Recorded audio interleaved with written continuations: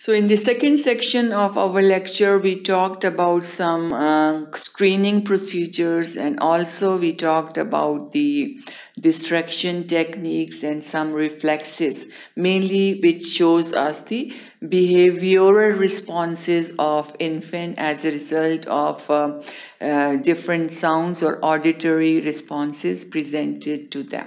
Now, in this section, we will talk about some conditioning and objective test of the hearing. So in this we will talk about the visual reinforcement audiometry. Then we will talk about play and speech audiometry and then some objective tests. Conditioning techniques. In conditioning technique, we have visual reinforcement audiometry and also we have uh, play audiometry.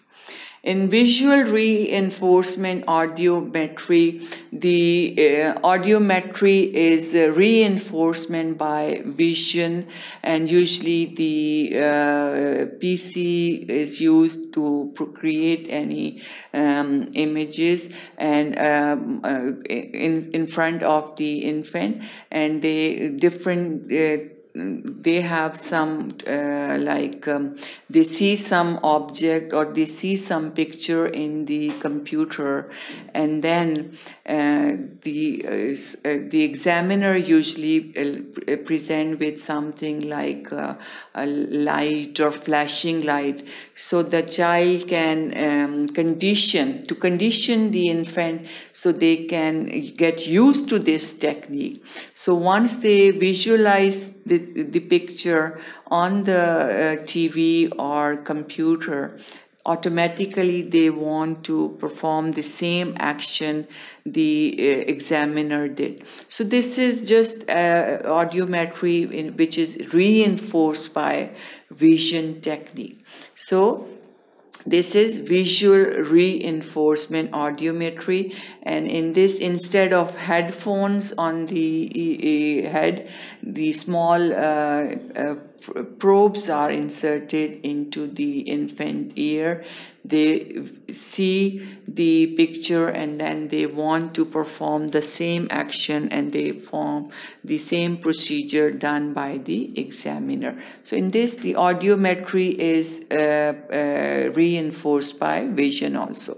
Then in the other play audiometry is a very very uh, good method especially uh, in children who are grown up and then uh, first the examiner explained to the child that okay when you hear the sound pick up the toy and put it in the uh, hole or whatever they have in front of them. If they have a lego uh, put the uh, pick up the leg uh, one and then put it on the uh, make some building and construct something.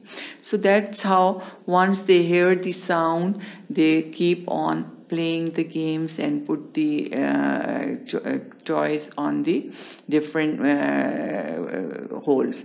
So this is play audiometry helps to find out when the child here they keep on uh, going to play. Then the speech audiometry is another type of uh, conditioning technique in which uh, the examiner talk and they want the person to repeat the words the examiner said.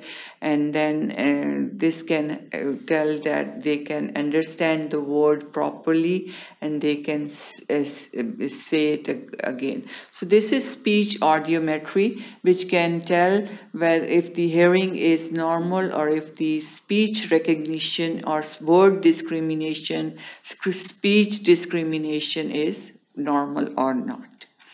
Then the objective tests. Objective test we have evoked response audiometry, also known as uh, electrocochleography.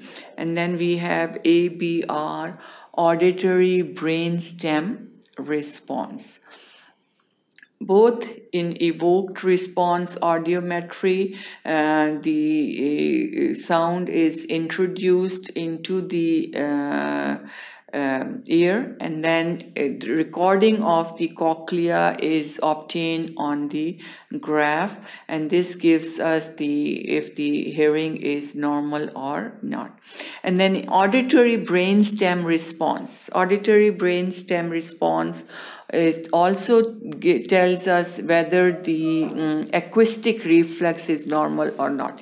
Acoustic reflex mainly tells us if it's the acoustic pathway is for the cranial nerve uh, 7, 8 and also of uh, auditory um, nucleus.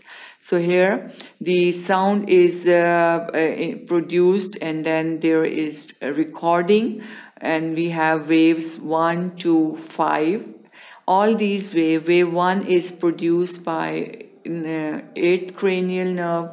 Then we have uh, again wave 2 8th nerve then we have third wave is by the uh, uh, cochlear nucleus or uh, then we have superior uh, olivary complex lateral lemniscus. So all this can gives us if the uh, hearing is normal or if the brain stem responds to the audit auditory stimulus is normal or not.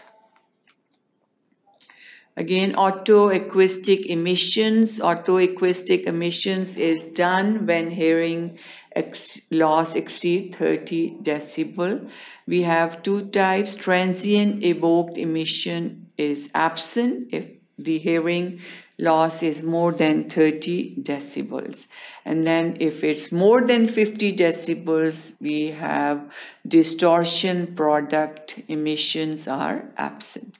So otoacoustic emission we have if it's up to 30 decibels or 50 decibels.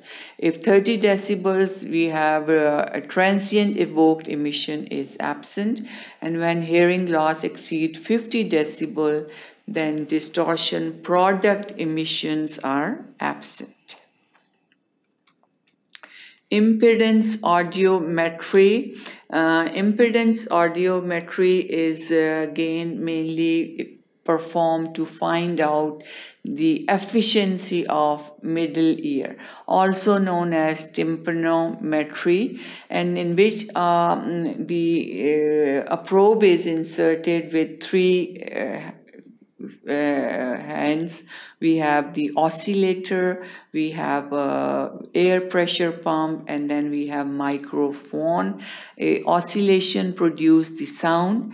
Then at the same time, we have the pressure pump in which the air is inserted into the ear, and then the waves that are reflected by the tympanic membrane, they are recorded, and this gives us a graph in which we find out that the most maximum is at the level of zero when the pressure in the middle ear and the atmosphere is same. So this is impedance audiometry or tympanometry in which stapedius muscle contracts reflexly and absence of acoustic reflex is mainly due to middle ear disorder retrocochlear hearing loss or severe there is profound sensory neural hearing loss. All these can lead to absence of acoustic reflex so that was all about the conditioning and some objective test for the assessment of hearing. Thank you for watching sqadia.com